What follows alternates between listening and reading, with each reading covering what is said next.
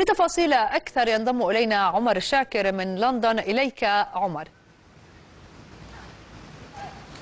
سيناريو نقل سكريبال وابنته إلى دولة أخرى وتوفير لهم ملاذ أكثر أمنا محتمل ووارد خاصة بعد المعلومات التي تشير إلى رفض يوليا ابن سكريبال مساعدة القنصل الروسي في لندن التي قدمها لها ولقائه بيوليا.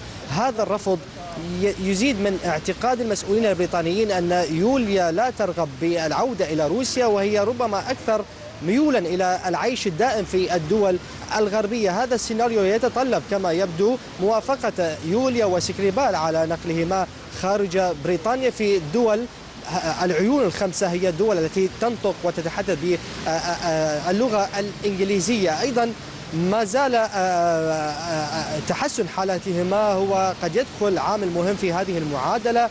قريبا يعتقد أن سكريبال وابنته سيدخلان على خط التحقيقات الجارية وسيلتقيان بالمحققين الذين يعملون على يعني فك شفرات هذه الحادثة حادثة تسميم العميل الروسي. ما زالت أيضا الأزمة يبدو ماضية باتجاه المزيد من التوتر بين موسكو ولندن خاصة في ظل يعني عدم قبول حتى الآن وزارة الخارجية البريطانية طلب السفير الروسي بلقاء بوريس جونسون للحديث عن هذه القضية.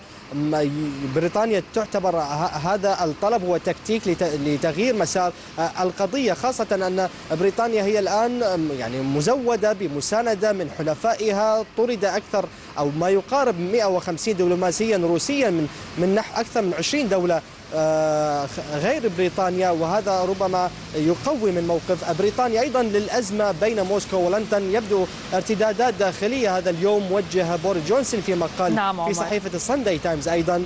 اتهاما لجيريمي كوربن زعيم حزب العمال المعارض بأنه يعني لا يتبنى وجهة نظر حكومة تريزا ماي أو ربما يقدم عونا للدعاية الروسية فيما يتعلق بحادثة تسميم العميل الروسي. شكرا جزيلا لك عمر شاكر مراسلنا من لندن.